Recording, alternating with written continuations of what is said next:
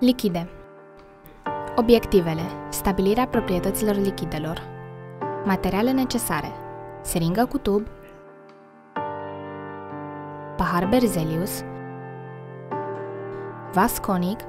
Flacon cu apă care nu face parte din trusă. Mod de lucru. Se trage apă în seringă. Și se trage și aer. Se observă că seringa nu este totdeauna plină cu apă. Se trage apă în seringă 40-50 ml.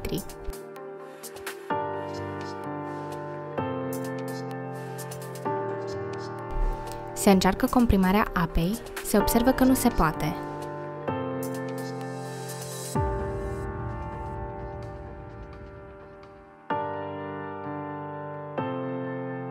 se observă volumul constant și forma. Se pune apa din seringă în pahar Berzelius, 40-50 ml. Se observă același volum, dar o formă diferită. Se pune apa din pahar într-un vas conic. Se observă volumul și forma. Concluzia, apa în fiecare caz are același volum, dar forme diferite, Lichidele au un volum propriu, dar nu au formă proprie. Preiau forma vasului. Gazele. Obiective. Stabilirea proprietăților gazelor. Materiale necesare. Seringă cu tub. Baloane. Cutie de material plastic. Pahar Berzelius de 250 ml. Flacon cu apă și capac de hârtie care nu face parte din trusă.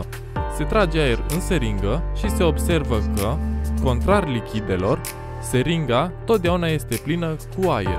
Se comprimă aerul cu piston. Se observă că aerul nu are volum propriu, se poate schimba volumul gazului relativ ușor. Se umflă un balon. Se observă că aerul umple tot balonul, se poate comprima aerul din balon cu mâna și poate lua diferite forme. Se constată că gazele nu au nici volum propriu și nici formă proprie. Se pune apă în cutia de material plastic. Un pahar Berzelius se introduce în apă cu gura în jos. Se constată că apa intră numai parțial în pahar, deci aerul are un anumit volum. Aplicație Clopotul de scufundare pe un capac de flacon se pune o bucățică de hârtie. Capacul se pune pe apă și se acoperă cu un pahar. Paharul se scufundă pe verticală în apă.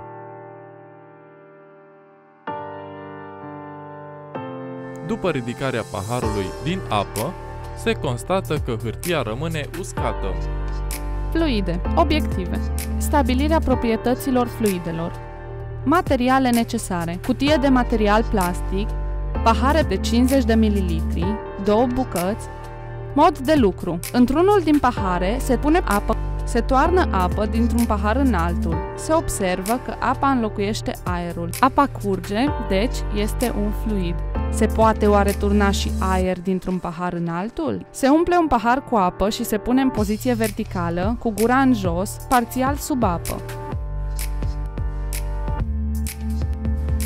Se scufundă celălalt pahar cu gura în jos, se pune paharul cu aer sub gura celuilalt pahar și se înclină încet, cu grijă. Se observă trecerea aerului în paharul cu apă, eliminând apa din pahar. Se observă comportarea asemănătoare dintre curgerea aerului și apei, ceea ce ne duce la concluzia că amândouă sunt fluide.